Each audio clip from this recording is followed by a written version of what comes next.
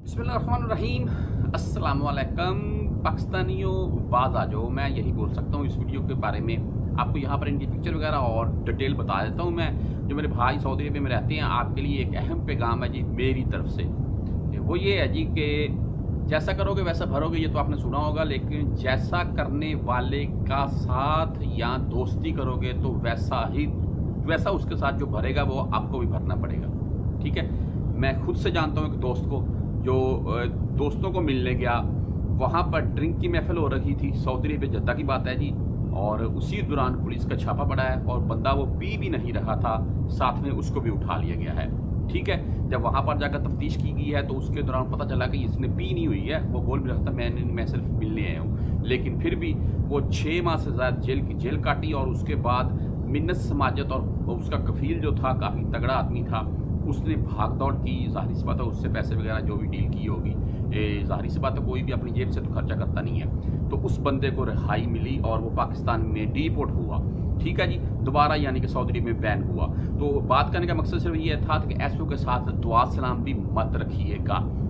आपका फ़ायदा है जी, इसमें अगर पता चल जाए तो दूर हो जाए। और एक मैं आपको लास्ट में बात बताऊँगा, वो भी सुनते जाइएगा इन आपको उससे भी फ़ायदा होगा।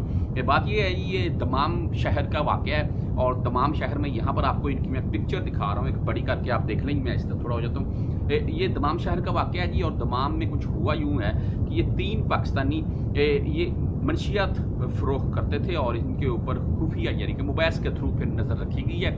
जब ये बंदे को पकड़ते वैसे रंगे हाथ हुई हैं, उसके पास जब माल मता हो उसी टाइम पकड़ते हैं। तो मोबाइल इनकी काफ़ी, आपको पता ही हाई अलर्ट रहती है।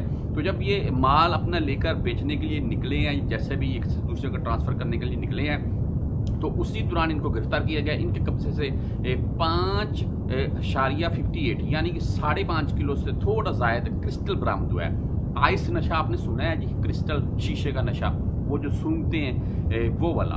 तो यहाँ पर पिक्चर में आप देख भी सकते हैं। वो बरामद हुए इन तीनों को कब्जे में ले लिया गया। अभी ये लंबे अरसे के लिए जेल और साथ में फाइन वगैरह बड़े किस्म का लंबे अरसे के लिए जेल ही बोल सकता हूँ मैं, क्योंकि मनशियात के ऊपर भाई अगर रंगे हाथों बंदा पकड़ा जाए तो उसकी छूट नहीं होती है। लास्ट में आपको बात ये बताने वाला था कि भाई ताइफ में हम मौजूद थे, ईद कुर्बान थी और मैं और मेरे कुछ दोस्त बाहर निकले तैफ हवाइया में उस वक्त हम मौजूद थे। और वहाँ पर हमें एक मिला है जी, गाड़ी में। बैठा बोलता है, कोई पानी वानी चाहिए? मैं हाँ मैं समझ गया कौन से पानी की बात कर रहा है। मैंने उसको बोला, नहीं भाई सलाम है तेरे को जा किसी और बंदे को ढूंढ तो खुदारा ऐसे किसी भी चुंगल में मत फंसीएगा। ये मुबैस वाले खुद से भी हो सकते हैं, उनके खुद से आदमी भी हो सकते हैं। अगर ऐसा को आप जानबूझकर शौकिया तौर पर ऐसा को काम करना चाहते हैं तो फिर भी आप फंस जाएँगे और लंबे अरसे के लिए आपको जेल काटनी